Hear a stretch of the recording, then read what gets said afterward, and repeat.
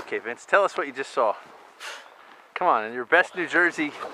Once again, this is real simple. Once again, not less than 50 feet right here is a moose that was a big rack that would probably kill us. Once again, you have led me to imminent danger. Moose are non-violent creatures. I don't know where we're at.